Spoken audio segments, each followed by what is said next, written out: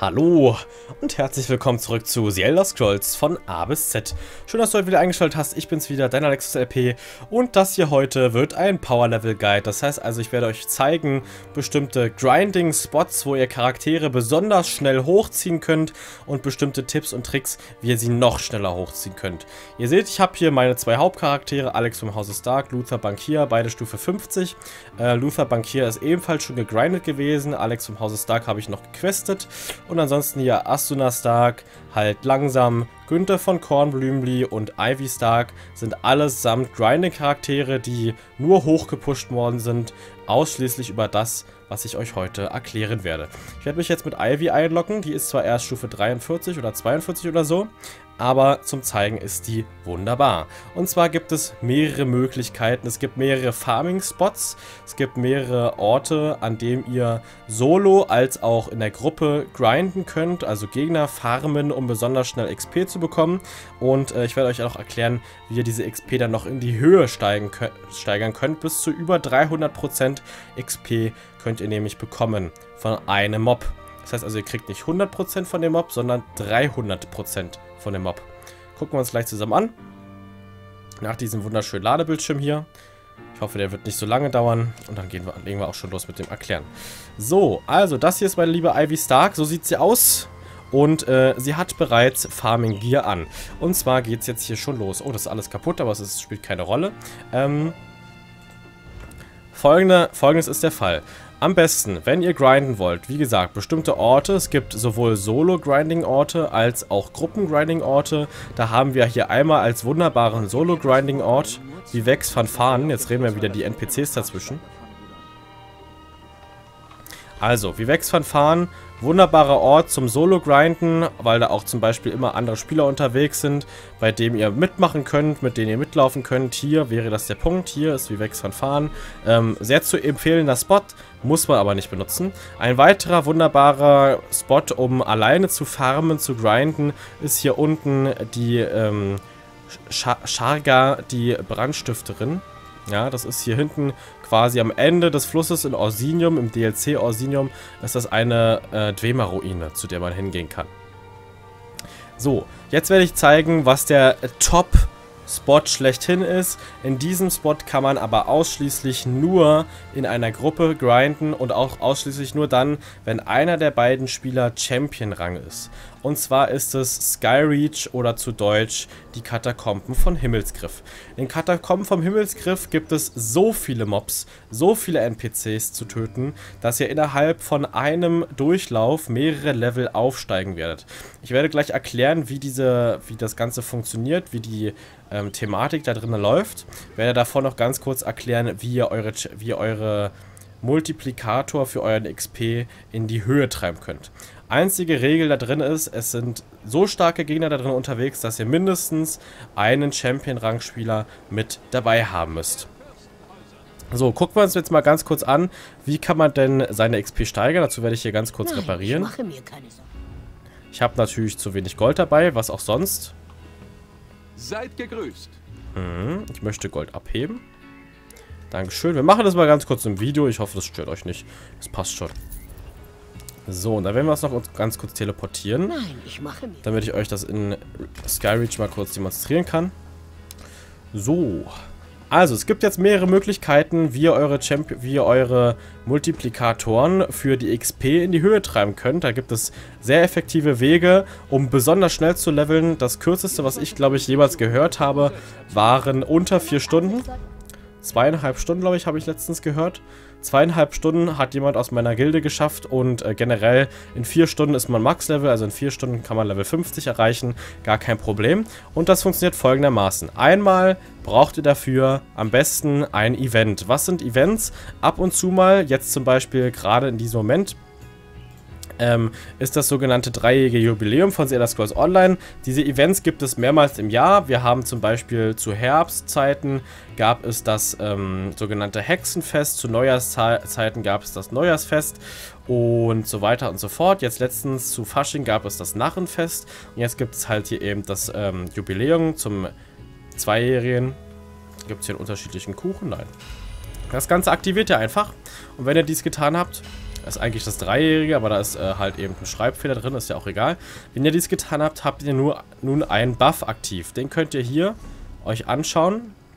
Und zwar ist es der, der Jubiläumserfahrungsbonus 2017, erhöht jegliche Erfahrung, um 100%. Das heißt also, wenn ihr nun einen Gegner tötet, kriegt ihr nicht 100%, sondern ihr kriegt 100 plus nochmal 100, also 200% mehr also nicht 200% mehr, aber ihr kriegt 200% XP. Ja, nicht nur 100, sondern 200. Dann geht das Ganze noch weiter. Dann gibt es Physik Ambrosia zum Beispiel. Das gibt euch für 30 Sekunden lang 50% mehr Erfahrungsgewinn. Äh, das gleiche gibt es nochmal als Schriftrolle aus dem Kronenshop. Das hält dann 2 Stunden lang statt 30 Minuten. Eine Physik Ambrosia Flasche könnt ihr euch aber auch herstellen lassen oder kaufen. Ihr seht hier, der Preis liegt bei 3000 Gold. Dann gibt es Myst, dann gibt es äh, ätherisches Ambrosia. Ätherisches Ambrosia kostet ein bisschen mehr, 12.000 Gold pro Flasche ungefähr. Das bringt dann äh, 30 Minuten lang ähm, 100% mehr Erfahrung. Und dann gibt es noch zum guter allerletzt das mystische ätherische Ambrosia. Das gibt euch 150% mehr Erfahrung für eine halbe Stunde. Und zwar kostet das dann so ungefähr 24.000 Gold. Das ist also schon eine sehr, sehr teure Angelegenheit. Was normale Ambrosia kann man sich auf jeden Fall mal leisten. Zumindest wenn man mal ein, zwei Charaktere hochziehen möchte, ist das kein Problem. Das heißt also, ihr seid dann schon bei 100% plus 100% Event plus 150% mystisches, ätherisches Ambrosia. Heißt, ihr kriegt von einem Gegner 350% Erfahrung. Das ist schon mal sehr, sehr, sehr, sehr viel. Jetzt kommt noch etwas dazu, was sich jeder herstellen lassen kann, von jedem Handwerker. Das kostet auch kein Geld, weil die Handwerksmaterialien, die man dafür benötigt, die sind so preiswert, dass sie sich hier wirklich jeder leisten kann. Auch der gerade angefangen hat, kann in einer Gilde einfach mal rumfragen. Da kriegt man sowas im Normalfall sogar schon geschenkt. Ja, von netten Leuten, die einen das herstellen. Und zwar lehrende Ausrüstung, lehrendes Gear, wie auch immer man das nennen möchte. Warum ich hier derzeit keine Schulterplatten trage, weiß ich ehrlich gesagt nicht. Lehrende Ausrüstung. Ihr seht hier Verzauberung und darunter seht ihr eine Eigenrüstungseigenschaft, die heißt lehrend. Erhöht euren durch getötete Feinde keine erhaltenen Erfahrungswerte. Haben wir hier 10%, 10%, 10%, 10%, 10%, 10%, 10%. Das heißt, wir haben schon mal 70% alleine durch die Rüstung, 70% mehr Erfahrung. Und dann haben wir hier nochmal Waffen. Ja, das sind nochmal 8%. Das heißt also, wir sind bei äh, blauen Gear und bei, bei äh, grünen Gear ist halt nochmal ein kleines bisschen weniger. Aber wir sind plus minus ungefähr zwischen 60 und 80 Prozent über Rüstung, die ihr nochmal dazu bekommt. Das heißt also, wir haben 400 Prozent Erfahrung erreicht. 400% Erfahrung. Ich gehe jetzt mal hier von lilanen Gear aus, ja, also mystisches, ätherisches Ambrosia, Event plus nochmal den Gegner. Sind wir bei, drei, sind wir bei 350%, die ihr bekommt plus die Ausrüstung, plus minus, damit es damit sich besser anhört, nämlich jetzt hier mal 80%, sagen wir mal, wenn ihr die Waffe hochgezogen habt, dann seid ihr also plus minus ungefähr bei 430% und jetzt kommt noch etwas obendrauf. Und zwar, wenn ihr ESO Plus Mitglied seid. Ja, wenn ihr die ESO Plus Mitgliedschaft monatlich bezahlt, bekommt ihr nochmal 10% obendrauf. Wenn ihr in einer Gruppe unterwegs seid, bekommt ihr nochmal 10% obendrauf. Das funktioniert aber nur in einer Zweiergruppe. Und zwar kriegt ihr als Zweiergruppe einen kleinen Erfahrungsgewinn-Bonus, ja, der sogenannte Gruppenbonus. Und desto mehr Mitglieder in dieser Gruppe drin sind, desto, also ihr kriegt einen prozentualen Bonus. Ich kann euch gerade nicht auswendig sagen, wie viel der beträgt. Und desto mehr Gruppenmitglieder in einer Gruppe sind, desto mehr wird dieser aufgeteilt.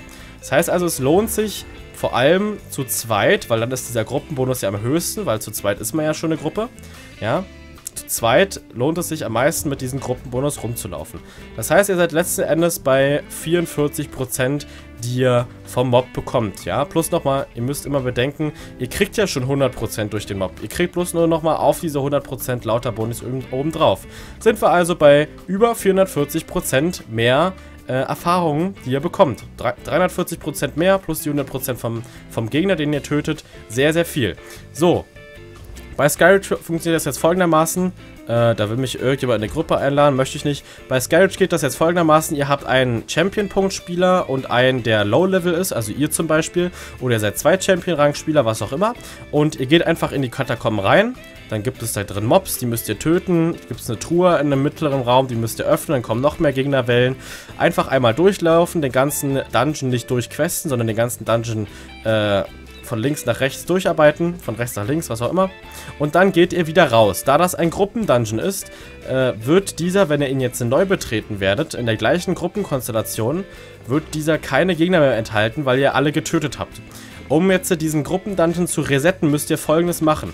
Entweder ihr seid in einer Gruppe.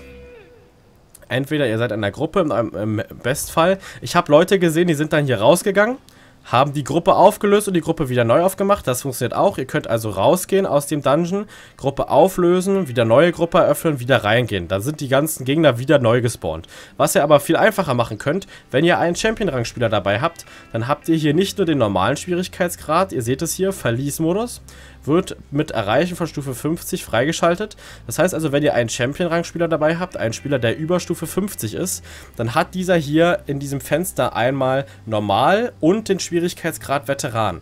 Dieser Spieler muss dann lediglich einmal auf Veteran klicken und wieder zurückklicken auf, auf den Schwierigkeitsmodus normal und schon wurde der Dungeon resettet. Einfach nur ins Gruppenmenü reingehen, Veteran einstellen, wieder normal einstellen und dann könnt ihr wieder den Dungeon betreten, wieder von vorne durchspielen, wieder neu durchrennen, wieder rausgehen, wieder auf Veteran stellen, wieder auf normal stellen, wieder reingehen, wieder durchspielen, wieder rausgehen, wieder auf Veteran, wieder auf normal, wieder reingehen und so in der Endlosschleife, bis euer Charakter auf dem Höchstlevel angekommen ist. Ganz einfache Geschichte.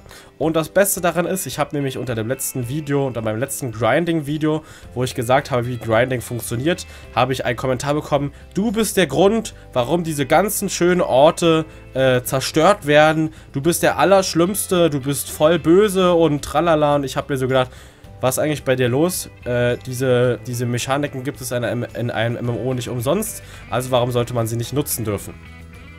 Ähm, und zwar das, der, der Vorteil, wenn man hier in Himmelsgriff, in, in Skyreach farmt, in, der, in den Katakomben von Himmelsgriff, ihr seid nur zu zweit da drin. Ihr stört nie keinen anderen Spieler, wie es zum Beispiel auf öffentlichen Plätzen der Fall ist. Wenn ihr wie Vex Fanfaren grindet, könnte es sein, dass euch andere Spieler stören und euch die XP wegnehmen, was auch immer.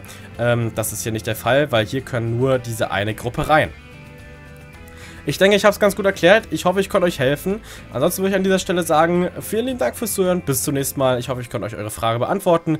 Wenn ihr weitere Fragen habt, rein damit in die Kommentare. Ich werde mir alles durchlesen und beantworten. Und würde ich sagen, bis zum nächsten Mal. Haut rein. Euer LXLP. Tüdelü.